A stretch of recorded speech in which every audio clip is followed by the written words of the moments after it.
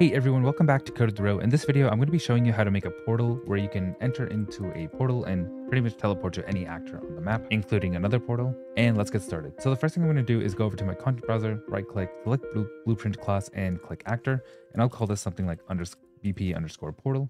Double click into it to open the blueprint actor. And now what I'm going to do is add a static mesh and I'll call this something like portal frame.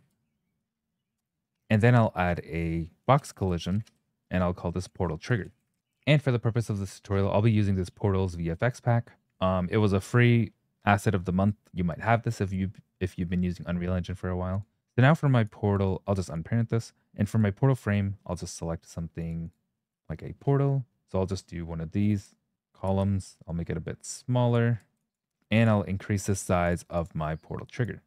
So I'll compile and save.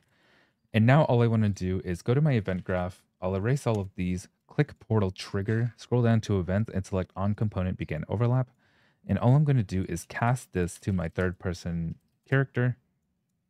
And for other actor, I'll just connect this to the object node. And then I just want to check if this is valid, like so. And now we need to add a destination. And the destination will do another actor. So under variables, I'm just going to hit this check sign and check um, and type in actor destination for the variable name. And then under this, I'll hit Boolean just to change it and I'll select actor. And now when I click actor, I'm going to do an object reference. And also I want to make sure that when I click on this, this is an instance editable. And this is so that I can edit it while it's in my, my world map. So I'll hit compile and save. I'll just drag this out and I'll get the actor destination and I'll put this as the input object. And this is pretty much just going to check that if the actor destination is valid.